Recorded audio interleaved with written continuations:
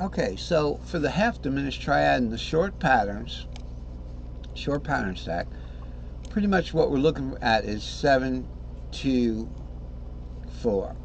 I went over these like a fine tooth with a fine tooth comb this morning to make sure they were all right. 7, 2, 4. Because I had left out some stuff.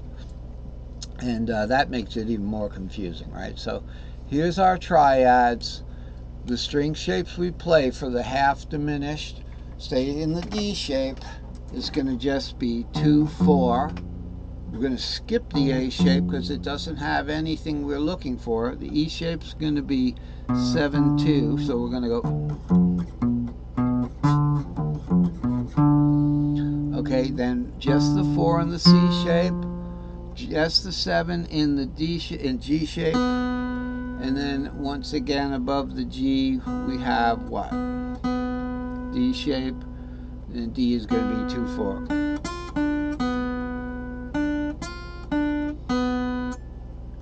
Uh, and then get this one. I, I can't see that well.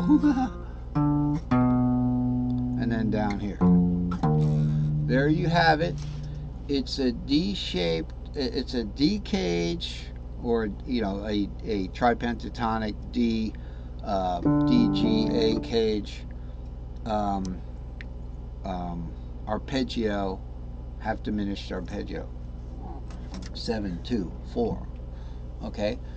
So that's where we're going to do that. Now I guess I'm just going to do a little change up on you. Let's look at the long pattern for the half diminished triad. Okay, and we'll kind of like build from there. We'll, we'll start from triads and go all the way back to diatonic. So we're going to have the same the same three notes, same play notes there. The white notes are the play notes. The black notes are either pentatonic or accidentals. And then so this is what we're left with if we're going to do the uh, half diminished triad so in AXL, you know that would be in the A box, right? So this would be the A box C. Okay, the seventh of that A box, wow, well, we could do something like this.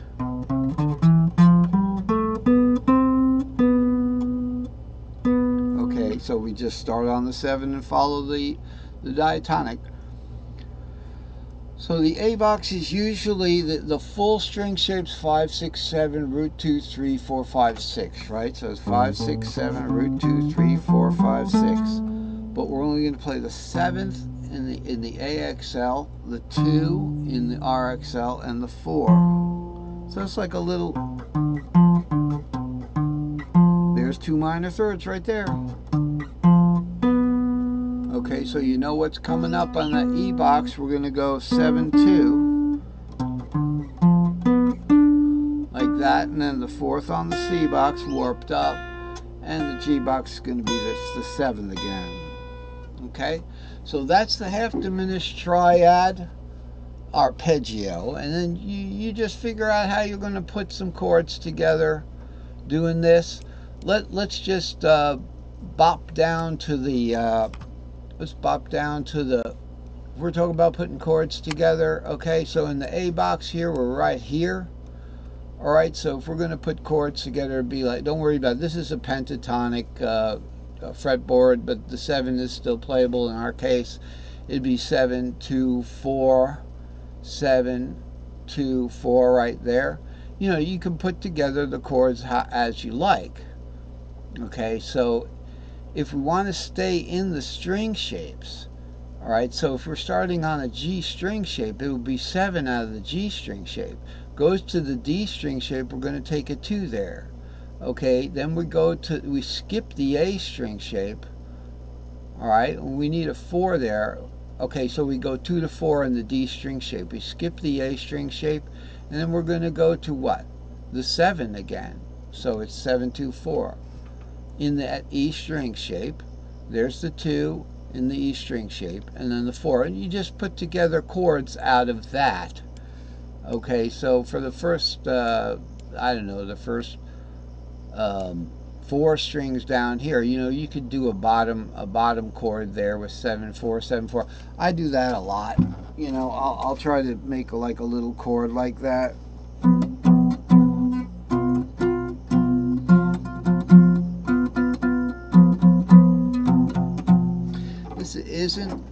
Class on how to make half diminished chords, but you'll see me relying heavily on familiar chord shapes when we're talking about doing that, such as making substitutions, you know, and that kind of thing.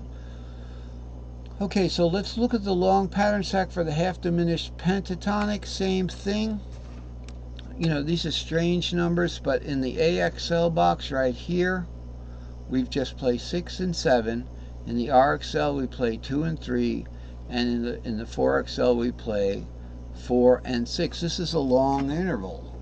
So let's say we're, we're in the A box. Here's our C, ba, bum, bum, to G but now we want to do this, you know, we're doing some arpeggios.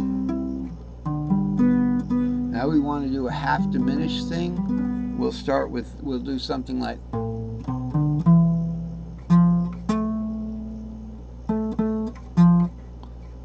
Okay, that kind of thing. So we've got our 6, 7. We're starting on the 5. Remember, we are A-shaped 5, A-shaped C. So that, that's our 5 in the key of C. Okay, here's the 7. So we're going to go 6, 7, 6, 7, 2, 3, 4, 6. Then we can go 7, 2, 3, 4, 6, 7. Okay, that's half diminished pentatonic once again, but in the long patterns. Remember we did it before, it wasn't so bad, but with the long patterns, okay? So that's wherever you would invoke a long pattern, whether it be to get to a, a, a mixolydian, or mostly if the fret nut was here, see the capo was here. The capo is here, now I can't do my A short pattern, right? Whoa. I worked out too, and I still, okay. So I can't do my A pattern, so we're going to do a long A pattern. Okay, so the, the, the thing would be the same uh, for half diminished. It would be it'd be just six, seven, four, six. Now it's easy to get that four, six, isn't it? Well, I forgot the two, three. Okay, so it's six, seven, two, three, four, six. So if you're using these things to get off the fret nut, hey, there's an easy, there's an easy long third, major third, right? So that's it, and then keep going up in the, uh, keep going up. Once you get done with the ex, with the uh, extra long patterns, you go into an S4E. These are easy as pie. Okay, so you go.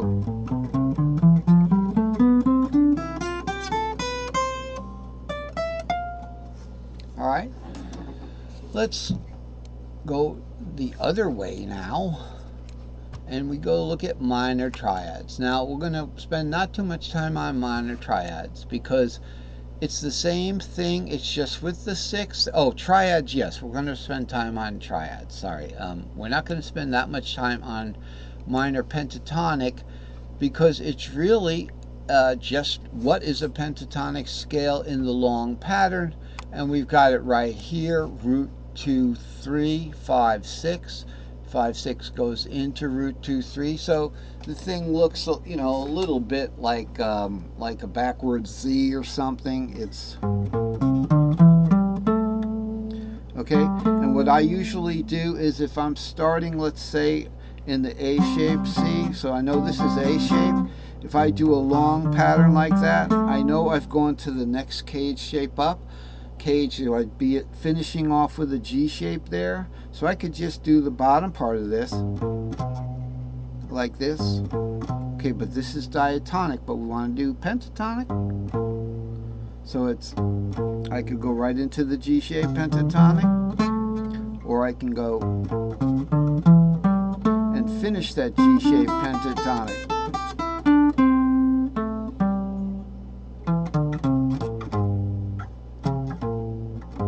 Okay, so that works. Um, it's up to you. Remember, it's one cage shape up.